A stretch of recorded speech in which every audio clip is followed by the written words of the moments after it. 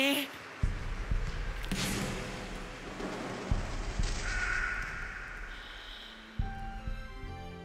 あんな風になれたらかっこいいと思った。日向翔陽この物語の主人公。小学生の時偶然テレビで見た小さな巨人に憧れバレエを始める。そいつの名前は影山飛びよなんだこいつ。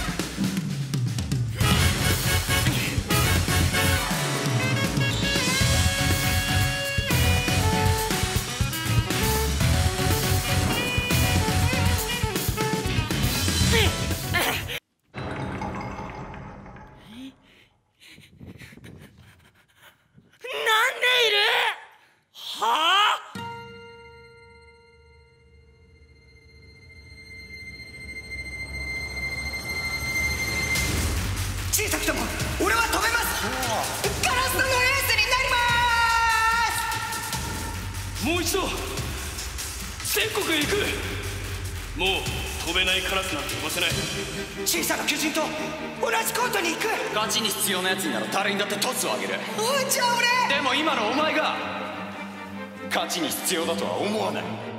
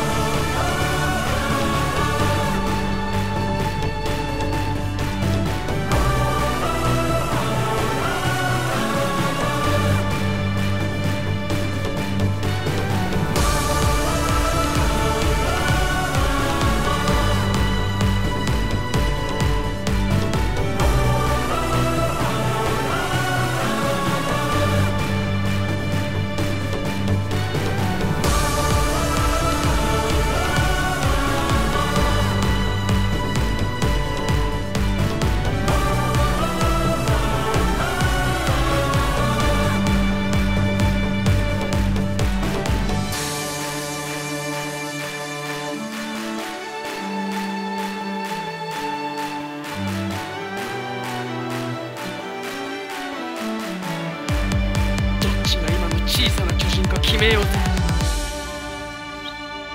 はい。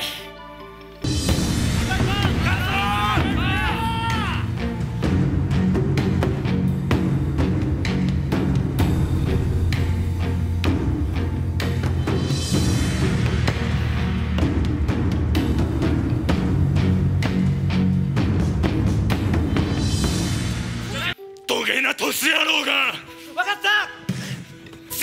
全部撃つくんおら僕と俺はお前が好かん。お前のその全てを楽しもうとするバレエが好かん。他人の評価を気にしたり他人と自分を比べたり。そげな雑念この世にあることすら知らんようにバレーボールを。ただバレーボールをしに来る。世界は平等じゃなくて平等だ。それをあいつはとっくに自分より大きいものや強いものに出会って初めて自分は小さく弱いと自覚する。俺は俺が弱いことをとうの昔に知っている。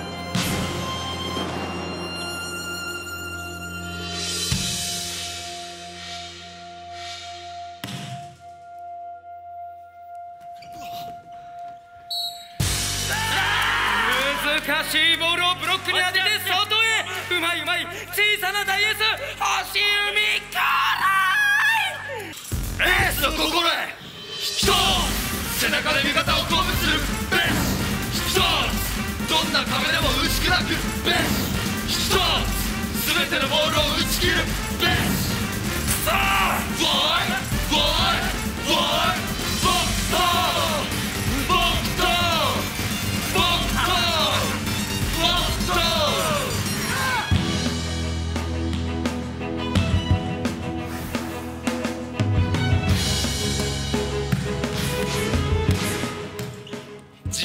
信なんか全くねえ。でも仲間に恵まれた自信はある。強い仲間がそこまで言ってくれる。逃げ出すくらいならうぬぼれろ。セット終盤でリードを許してる時のサーブほど燃えるんだよな。カラスの追い詰められたな。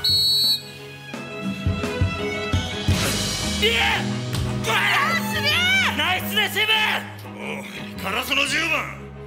お前は何ができる？ブブロックに立ち向かう武器。速さか高さか。速さと高さマイナステンポのドンジャンプ。ここまでちょうだい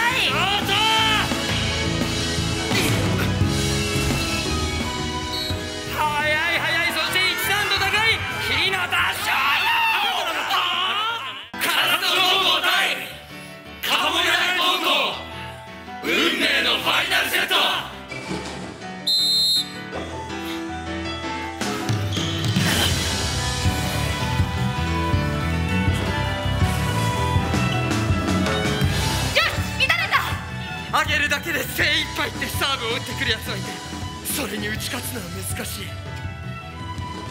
今自分にできる最良は仲間がフォロー可能なボールを上げること。A パスを返せなかった反省は今じゃない今どんな攻撃が可能か判断する。今相手のブロックは誰だ？攻撃は強打かプッシュか？ブロックを利用するか？スワサーゴ次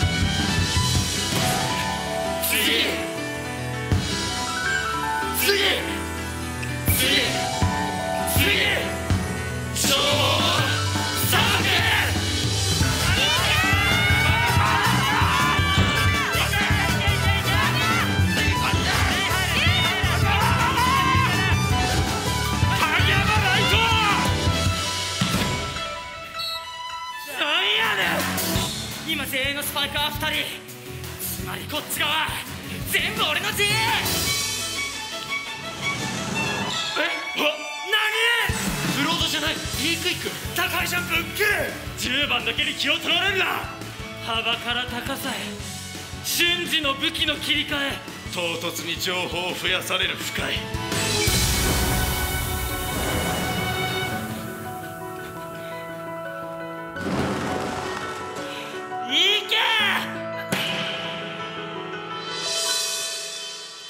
さいことは不利な要因であっても不能の要因ではない。